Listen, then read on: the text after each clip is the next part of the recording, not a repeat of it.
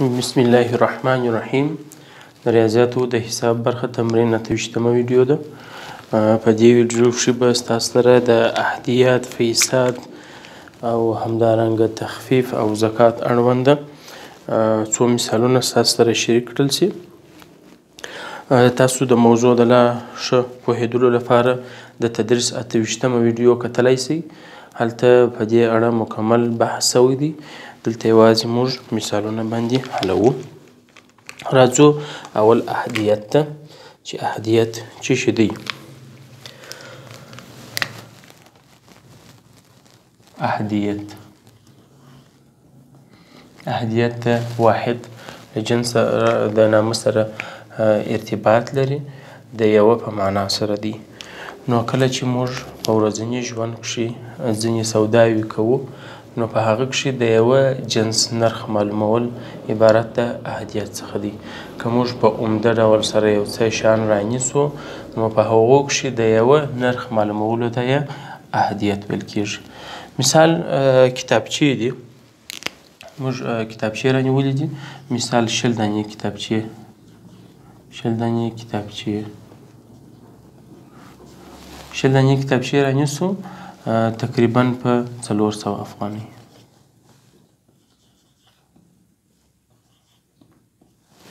نو اوس په دې کتابچو کښې د یوې کتابچې نرخ که تاسو پیدا کړئ دې ته هدیت ویل کیږي سوال په دې ترتیب سره کیږي د شلو کتابچو نرخ څلور سوه افغانۍ دی د یوې کتابچې نرخ به څومره وي نو تاسو مجبور یاست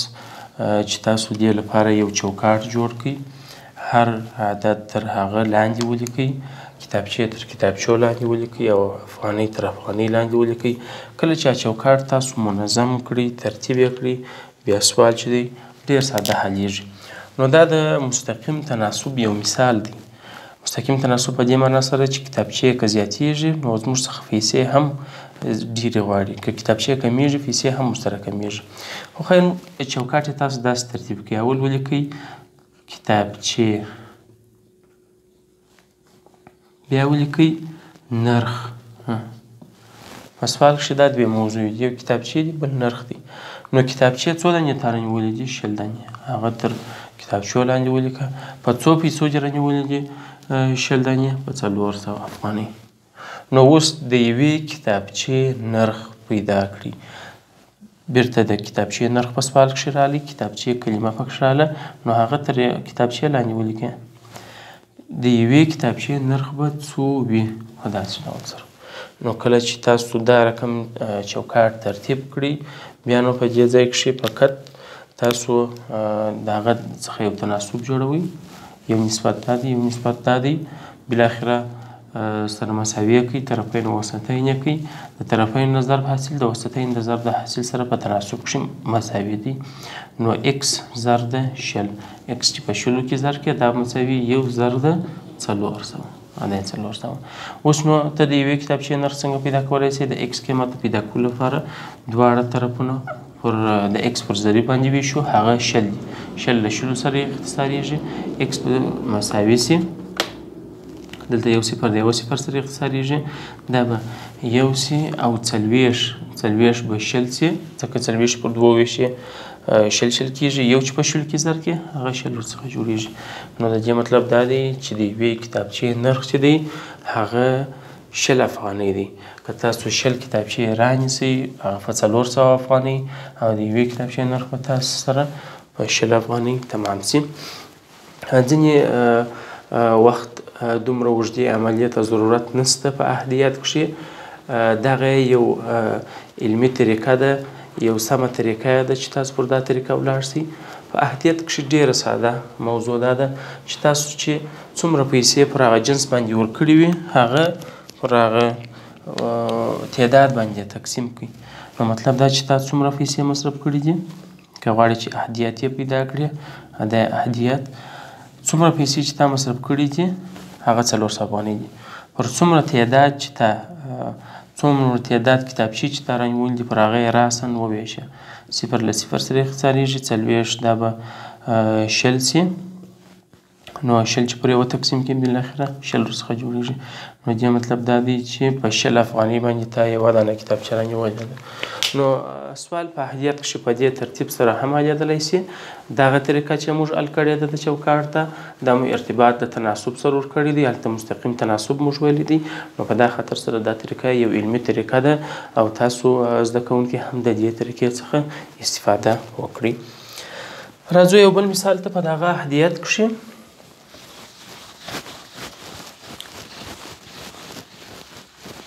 فرض کړئ یو چا اووه دانې موټران رانیولي دي په عبارتي سوالونو کښې د دې لپاره منظم چوکاټ تاسو ته نه جوړوي تاسو ته وایي اووه موټران فرض که اووه موټران په په دوه لاکه لس زره یا په دوه سوه لس زره افغانۍ رانیول شوي دي. وداني موټران په دوه سوه لس زره افغانۍ رانیول شوي دي. د یوه موټر نرخ به څومره وي؟ نو د هغه لپاره بیا هم تاسې مجبوره یاست چې یو چوکاټ جوړ کړئ. موضوع په عبارتي سوال کښې د موټر ده او د نرخ ده دلته ولیکه چې موټر یا موټران ها موټران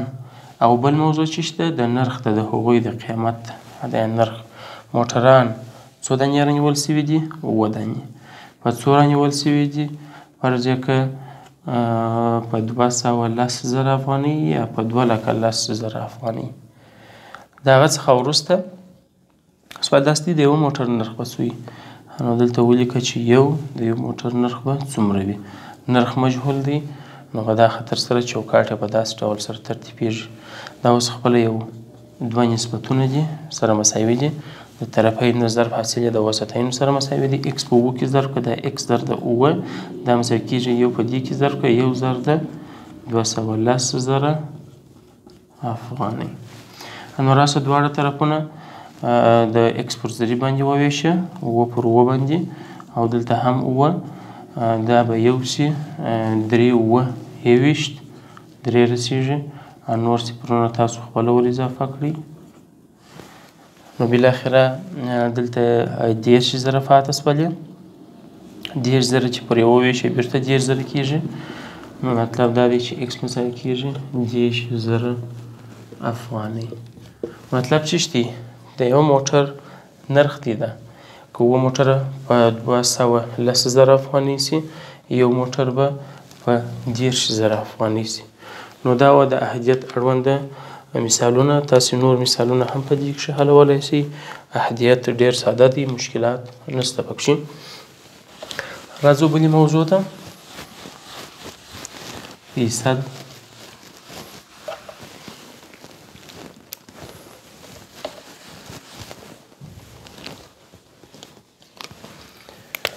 بله موضوع فیصد ده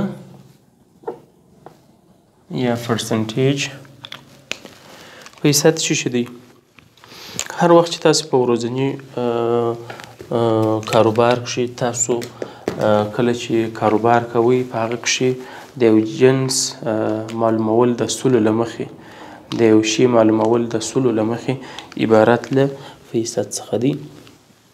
یا فیصد یو داسې کسر دی چې د هغه مخرج سل وي تعریفونه یې ډېر زیات دي او موږ یې پر مثالو باندې کار کوو مثال په یو کتاب کښې مثال داسې راغلی که چیرې په یوې ازموینه کې یو سلو شل تنو ګډون کړی وي او شپږ نوي تنه یې کامیابه شوي وي، د ناکامانو فیصدي په دې ازموینه کې پیدا کړي. سوال په داسې ډول سره دی. عبارتي سوال شوی دی، د عبارتي سوال څخه تاسو مجبور یاست چې معلومات راټول کړي. اوس په دې سوال کښې اصلا یو سل شلو کسو امتحان ورکړی دی، دلته ولیکه چې یو سل شل تنه په دغه یو سلو شلو تنو کې چې امتحان یې ورکړی دی په دې کښې شپږ نوي تنه کامیاب شوي دي کامیاب د ناکامانو فیصدي پیدا کړي د ناکامانو فیصدي د ناکامانو فیصدي په دې کښې پیدا کړئ دا د عبارتي سوال څخه ما معلومات راټول کړه تاسو به چې د هر عبارتي سوال څخه لومړی معلومات خپل ځان ته ولیکئ چې څه شی راکړي دي څه شی راڅخه غواړي که سوال ته تاسو متوجه سئ یو سل شل تنه دي شپږ نوي تنه کامیابه سوي دي د دغه دوه معلوماتو پر اساس باندې موږ د کامیابو فیصدي معلومولای شو خو زموږ څخه یې د ناکامانو فیصدي غوښتې ده،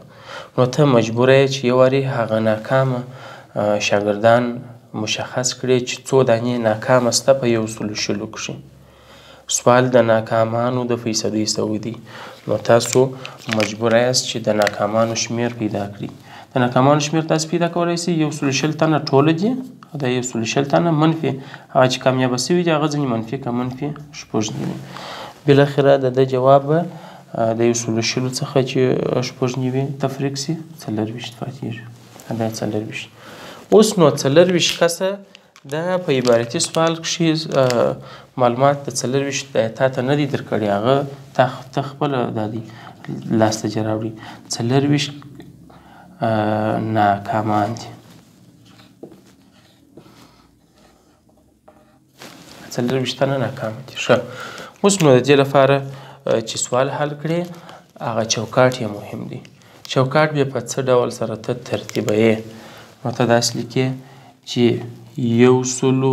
شل کسه کښې په یو سلو شل تنه کښې ناکام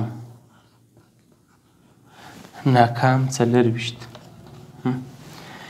ټوله یو سلو شل کسه دي په یو سلو شل کسو کې څلرویشت ناکامه دي په سلو کښې به څومره ناکامه وي دلته ولیکه سل په سلو کښې به څومره وي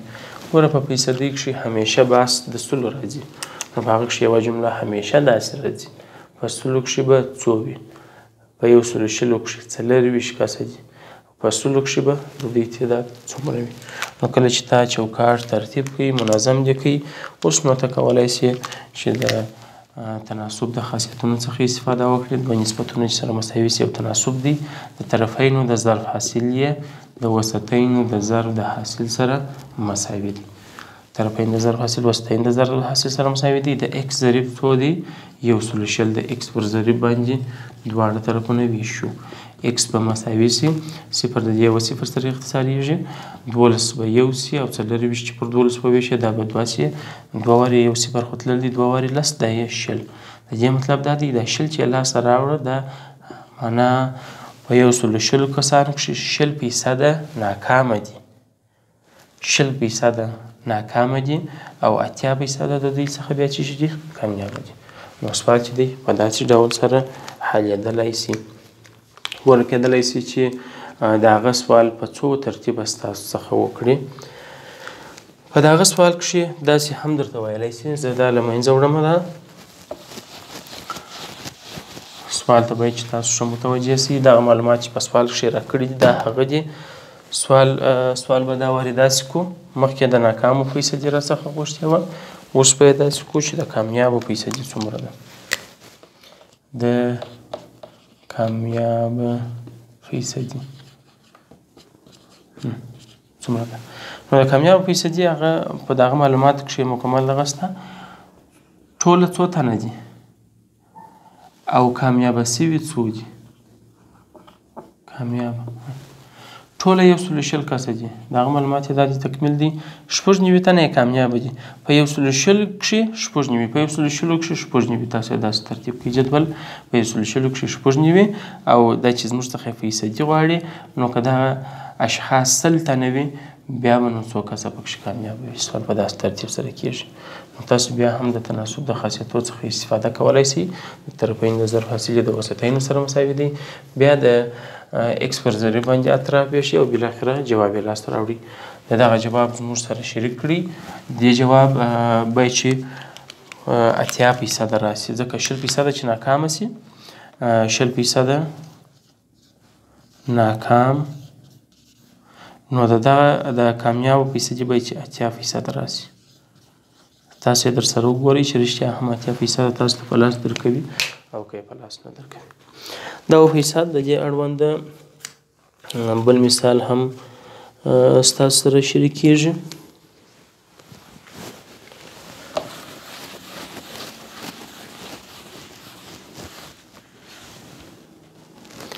بل سوال داس دی و یو سړی په بانک کې پنځه څلوېښت زره افغانۍ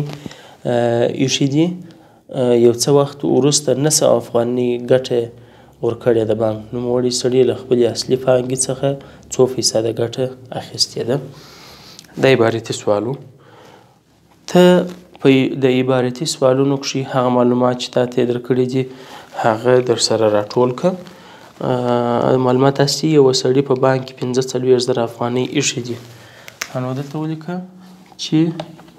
پنځه څلوېښت زره افغانۍ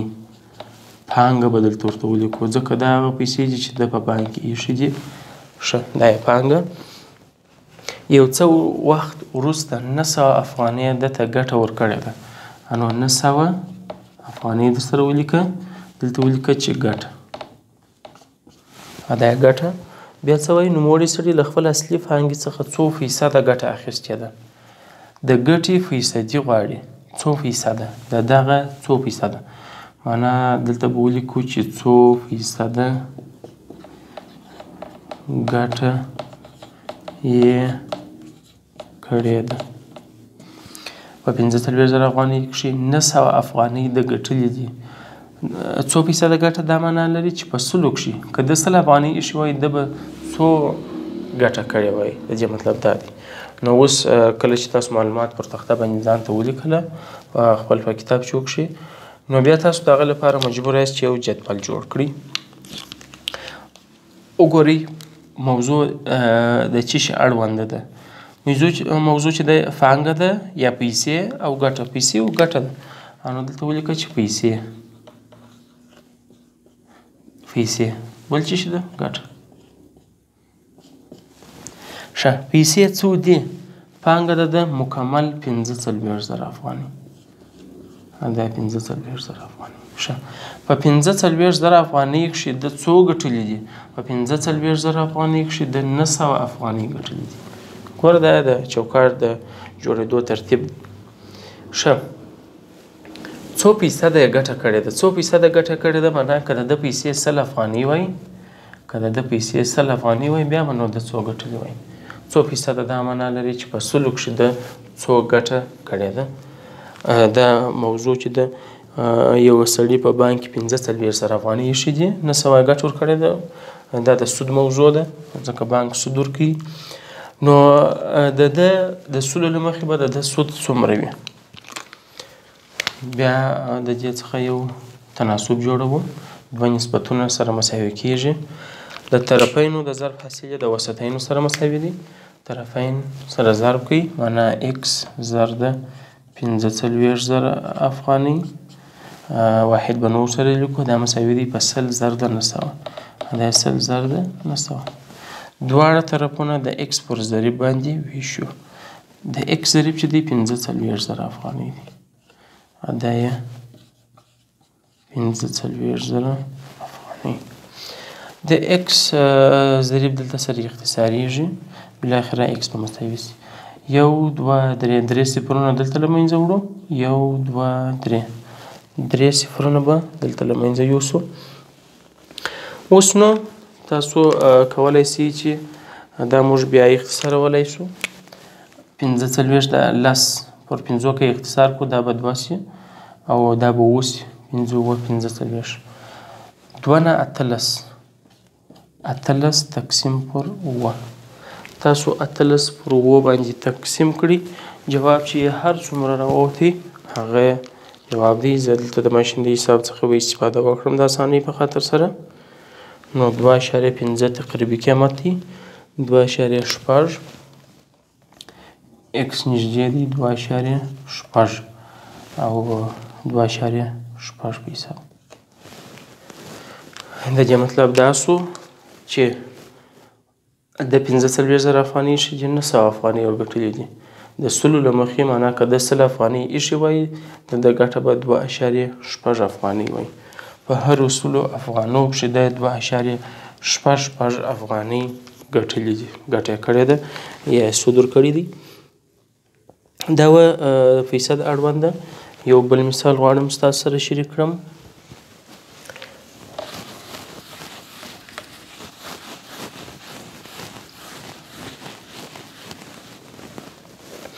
ښه سوال داستی وای د 8800 عدد 40 فیصد پیدا کړی د 8800 عدد 40 فیصد پیدا کړی په دې ځای کښې بل مجهول دی.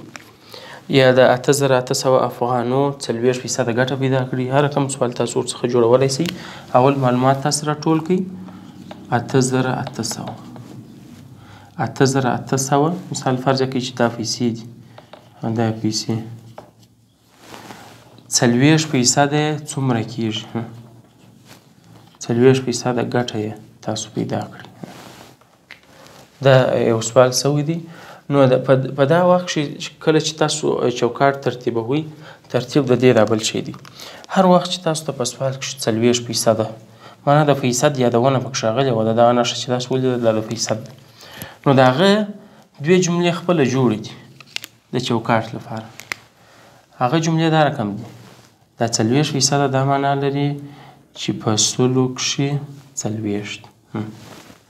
یوازې د دې جملې معنا دا ده چې په سلو کښې څلوېښت یا که دا تاسو د کسر په ډول سره وښایاست د سلو څخه څلوېښت په داسې ډول سره ښودل کېږي دا چې موږ یې چوکاټ ترتیبو نو د سلو څخه څلوېښت دلته به ولیکو چې دا پیسې او دلته بولی کو فرض که ګټ سوال داسته ودی د اته زره اته سوه فیصو څلوېښت فیصده ګټه څو کېږي سوال داسته ودی نو پیسې که سل سي که پیسې سل وای د څلوېښت افغانۍ ګټلې اوس پیسې څو دي اوس پیسې اته زره اته سوه دي نو د هغه ګټه به نو څو وي؟ د سلو دا څلوېښت چې د اته زره اته سوه دا به څومره وي؟ نو په دې وخت کښې چوکاټ یې ترتیب سوی دی د طرفین د ضرب حاصل یې د وسطینو سره مساوي دی نو اکس ضرب سل دا مساوي کیږي په څلوېښت ضرب اته زره اته سوه دواړه طرفونه پر سلو باندې ویشو د اکس ضریب دی یو صفر بل صفر دا دوه له دوی سره اختصاریږي اوس څلوېښت په اته اتیا کې تاسو ضرب کړئ څلور اته دوه دېرش دوه لیکو درې دې مې حاصل څلور اته دوه دېرش درې دېرش څلور دېرش دا یې پنځه دېرش درې سوه دوه پنځوس ولې یو صفر مو دلته پرېښی دی د ضرب لپاره نو مطلب دا دی چې درې زره پنځه سوه شل افغانۍ ګټه دا د څونه ګټه ده دا د 8800 پیسو ګټه ده نو په دې ځای کې مجهول چې دی هغه دا راغلی دی چې په 8800 کې څومره ګټه سوې ده که په استولو کې 40 فیصد وي نو دا د فیصد اړوند یو بل مثال وو خدای دې چې تاسو سر به په خلاصوي بیا هم تاسو فیصد موضوع په نورو کتابو کې در سره تعقیب کړی په انټرنیټ څخه د انټرنیټ څخه تاسو استفاده وکړي راځو تخفیف ته راځو تخفیف کمښت ته ویل کیږي هر وخت چې موږ سودا کوو نو په هغه کښې که چېرې موږ ته دوکاندار يا تجار يو څه پيسې را پرېږدي هغه موضوع د تخفيف ده. مانا زموږ سره يې ښه وکړله که موږ تې را سره وکړي په هغه سوالو کښې بيا هم د پيسه څخه استفاده کېږي د تخفیف یا کمښت سوال یې داسې حلوو وایي دی د میوې د اوبو ماشین په څلور زره افغانۍ دی په اته پیسه د تخفیف سره فلورل کیږي د فلورلو یې بیه یې پیدا کړي مطلب دا دی د د میوې د اوبو ماشین څلور زره افغانۍ دی دلته به ولیکم چې ماشین د ماشین د ماشین نرخ چې دی هغه څلور زره افغانۍ دی ماشین په څلور زره افغانۍ دی دا څلور زره افغانۍ اوس وایي په دغه ځای کښې ورته لیکلي دي چې اته فیصده تخفیف ستاسو سره کېږي اته فیصده تخفیف تخفیف نو تاسو وای دا معلومه کړئ چې دا ماشین به په څو دوی تاته درکړي څلور زره افغانۍ پر ماشین باندې لیکلي دي او دا هم ورسره لیکلي دي چې اته فیصده تخفیف دی د دې مطلب دا دی چې په هرو سلو افغانو کښې اته اته افغانۍ دی تاته در پرېږدي نو د هغه لپاره لومړی چوکاټ مهم دی تاسو باید چې چوکاټ جوړ کړئ په چوکاټ کې یو در سره ولیکئ چې تخفیف او نرخ ګوره نرخ د دې شي څو دی څلور زره په څلور زره افغانۍ کښې د څلور زرو افغانو تخفیف خو تاته نه دی در معلوم هغه ته ایکس ولیکه د څو تخفیف تاته در معلوم دی وای اته فیصده اته فیصده دا معنا لري چې په سلو کښې اته انو که د دې شي نرخ سل وای نو بالاخره اته افغانۍ د تاته در پېښودلې یا تخفیف تر سره کوو نو چوکاټ یې په داسې ډول سره ترتیب شو نور نو موضوع ساده ده د طرفین د ضرب حاصلې د وسطین سره مساوي دي ایکس که تاسو په سلو کښې ضرب کړي ایکس ضرب د سل دا مساوي کېږي په اته ضرب د څلور زره دا یې څلور زره دا به بل ځای ولیکو اکس ضرب سل دا مساوي کېږي په اته ضرب څلور زره دواړه طرفونه د اکس پر ضریب باندې ویشو چې سل دي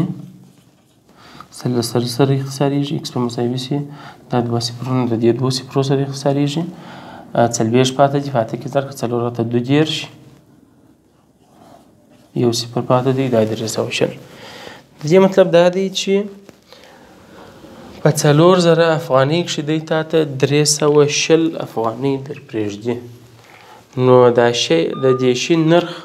څو کېږي تاسو به راولاړ شئ د څلور زره څخه به درې سوه شل منفي کړئ د څلور زره څخه څلور زره منفي درې سوه شل بالاخره جواب چې د دې درې زره شپږ سوه اتیا راځي درې زره شپږ سوه اتیا افغانۍ نرخ تخفیف چې در سره وکړي نو د دې شي نرخ به تا ته چې دا شی درکوي په درې زره شپږ سوه اتیا افغانۍ درکوي نو دا د تخفیف اړوند مثال نو دا رقم مثالونه تاسو نور هم حلولای شئ راځو یو مثال به بل باندې حل کړو په هغه کې به مجهول بل شی ور واچوو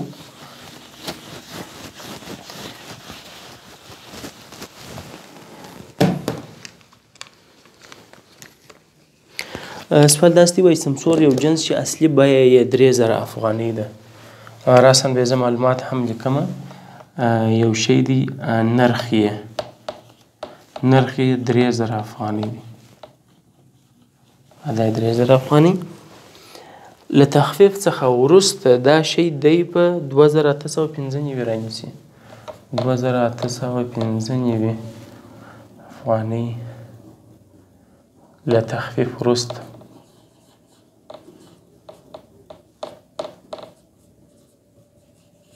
له تخفیف وروسته په 2995 افغانۍ رانیسي ښه وای تاسو څو سلنه تخفیف د دکاندار د سره کړی دی د تخفیف اندازه پیدا کړی څو سلنه ګوره دلته داسې ولیکئ منه څو پیسته دی دده سره ښه کړی دی مخکی سوال چی وو هغه یی پیسدی راکړی وه داغه پیسی راڅخه غوښتلی اوس یی دا پیسی راکړی دی چی دشه یی رانیولی دی اوس زموږ څخه فیسدی غواړی نو څو پیسه ده تخفیق دکاندار دده سره کړی دی بیا هم موږ چوکاټ جوړوو دلته به ولیکو چی تخفیف دا تخفیف دلته به ولیکو چی نرخ ښه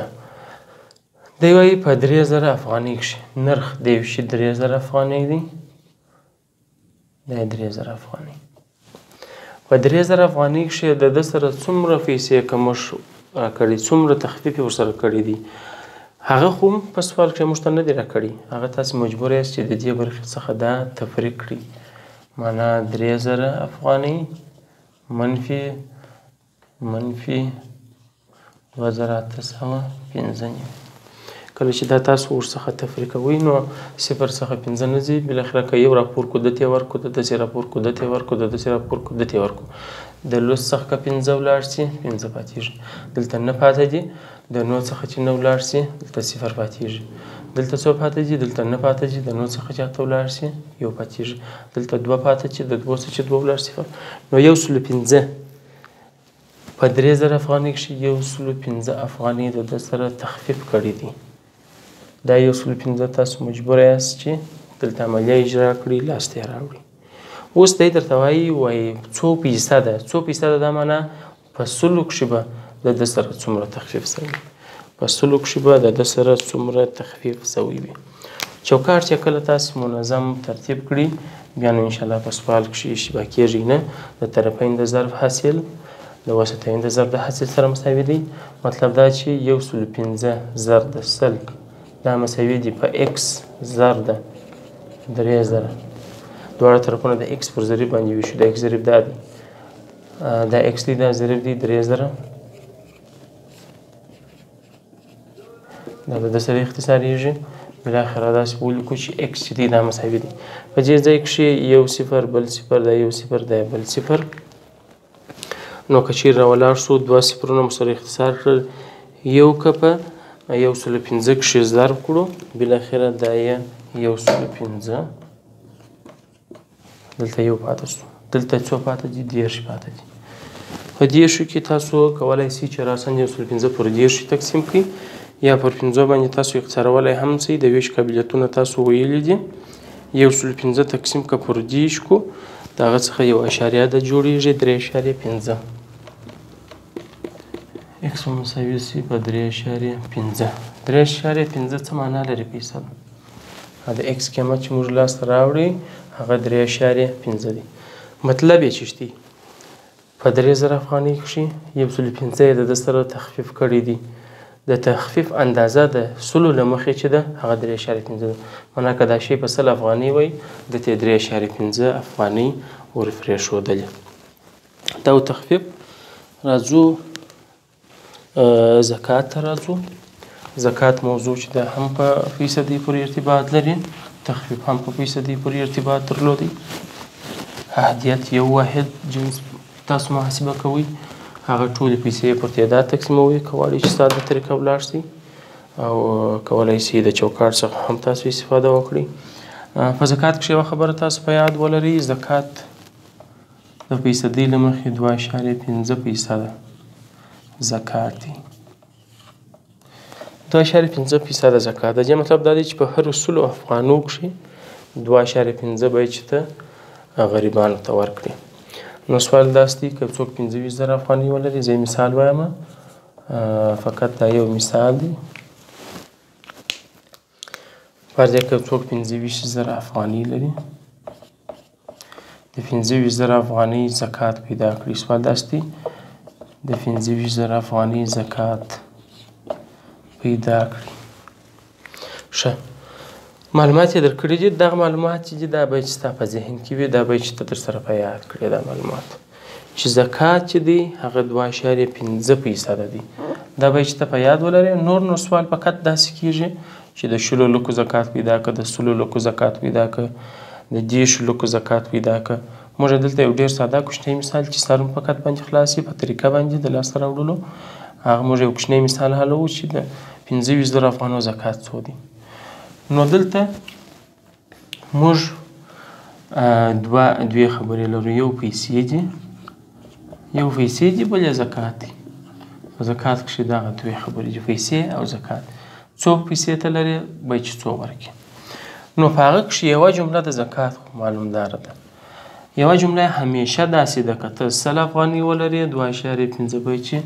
خلکو ته ورکړې عدد دوه اعشاریه پنځه اوس نو چې هر څو پیسې ته لري هغه دلته لاندې ولیکه اوس دلته په سوال کې پنځه ویشت زره افغانۍ راغلي دي د پنځه ویشت زره افغانو زکات به څومره وي دا چوکاټ یې اوس ترتیب سو د طرفینو د ظرف حاصل یې د وسطینو سره تاسو مساوي کوي اکس ضرب سل دا مساوي کېږي دوه پنځه ویشت زره زر د دوه اشاریه پنځه نو اوس راځو دواړه طرفونه پر سل باندې تقسیموو که دا پر سل باندې تقسیم کړو اوس نو یو صفر بل صفر بل صفر دوه صفرونه سره اختصاریږي تاسو را ولاړ سی دوه سوه پنځوس په څو کښې ضرب کړئ په دوه اشاریه پنځه کښې ضرب کړئ د ماشین د حساب څخه تاسو استفاده وکړي د ایکس قیمت چې دی که تاسو دا پر د باندې تقسیم کړئ 250 په دې کې ضرب کړئ هغه نو 425 کېږي 425 که پر یو تقسیم کړئ 425 کېږي د دې مطلب دا دی چې که تا پنځه ویشت زره افغانۍ درلودلې باید چې شپږ سوه او پنځه ویشت افغانۍ یې په زکات کښې ورکړې راځو یو بل مثال ته بل مثال داسې دی بل سوال داسې دی وایي که یو چا فرض یه که پنځلس زره افغانۍ زکات ورکړی وی نو د هغه سرمایه به څومره وی یو چا پنځه ویشت زره افغانۍ بخښه جي پنځلس زره افغانۍ پنځلس زره افغانۍ ورکړي دي پنځلس زره افغانۍ زکات ورکړي دي سرمایه یې معلومه کړي سرمایه یې پیدا کړي سوال په بل ترتیب سره سوی دی مخکې موږ ته سرمایه راکول زکات مو پیدا کوي اوس یې بې زکات راکړي دي سرمایه پیدا کوي نو چوکاټ چې تاسو ترتیبوئ بیا هم هغه دوې خبرې دي پیسې پیسې او زکات ښه پیسې څو دي هغه یوه جمله په زکات کښې همیشه معلومه ده چې په سلو کښې دوه اشاریه پنځه یا په څلوېښتو کې یوه تاسو د هغه څخه هم استفاده کولای شئ مطلب دا دی چې داسې هم لیکلی شئ زه به فقط درته ولیکم تاسې کور در سره امتحان کوي په کتابچو کښې په څلوېښتو کې یوه افغانۍ دا رقم هم تاسو ترتیبولی شئ خو دا چې د فیصدۍ له مخې موږ معلوموو نو په سلو کښې په سلو کښې دوه اشاریه پنځه اوس نو په دې ځای کښې مجهول سرمایه ده معنی دغه پیسې مجهول دي اول تاسې په هغه ځای کې ایکس ولیکئ او زکات یې په سوال کښې راکړی دی وایي ده دومره زکات ورکړی دی پنځلس زره افغانۍ ته زکات ورکړی دی نو مخکې مجهول په دې ځای کې وو اوس مجهول په دې ځای کې سو بیا هم طریقه هغه طریقه ده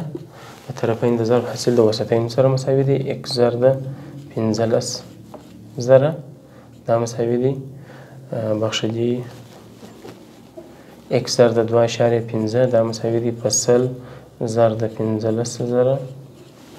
دواړه طرفونه د اکس پر ضریب باندې ویشو د اکس ضریب چې دی هغه دوه اشاریه پنځه دی دوه اشاریه پنځه دا د اکس ضریب سو دلته په سره اختصار سي اکس په مساوي سي مطلب دا چې دوی سره ضرب کړه بیا پر دوه اشاریه پنځه وویشم که تاسو را ولاړ شئ سل په پنځلس زره کښې ضرب کړئ نو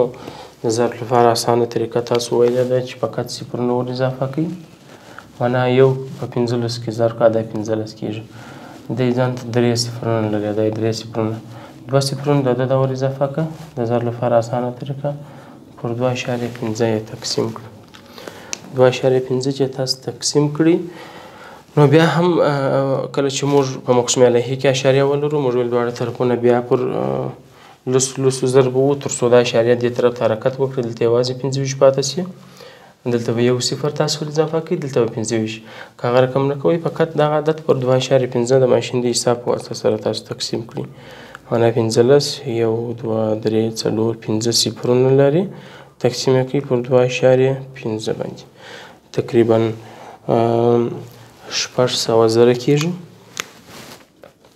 ایکس به مساوي سي په شپږ سوه زره شپږ سوه زره معنا شپږ لکه افغانو د شپږ لکو افغانو زکات چې دی هغه پنځلس زره افغانۍ دي نو تاسو داسې مثالونه نور هم حالولی سئ که یې زکات اندازه درکړې وي سرمایه معلومولی سي که یې سرمایه درکړې وي تاسو زکات معلومولی سي په زکات کښې یوه خبره ډیره مهمه ده چې دا جمله به چې تاسو په یاد بیا اوله جمله په سلو کښې دوه اشاریه پنځه دي او که په سلو کښې دوه اشاریه پنځه جمله نه په یادوي نو په څلوېښو کښې بیا یوه په یاد که در سره سوال جواب یو رقم راځي په دواړو حالتونو کښې هغه چوکاټ یې داسې دی په څلوېښتو کې که زه څلوېښت افغانۍ پیسې ولرم یوه افغانۍ به چې په زکات کښې ورکم دا چې ما پنځلس زره افغانۍ ورکړي دي پنځلس زره افغانۍ ورکړي دي نو زکات به څومره وي که تاسو دا سره طرفین وسطین کوي سره طرفین وسطین کې د ایکس قیمت کله سره وړي بل اخر بیرته شپږ سوه زره کېږي خیر اوسې مننه دا و د یو څه مثالونه د احدیت وو د فیصد وو تخفیف او زکات اړوند تاسو د کتابو څخه نور استفاده هم کولای شئ همدارنګه د انټرنیټ څخه تاسو استفاده کولای شئ خپل معلومات نور هم زیاتولای شئ مننه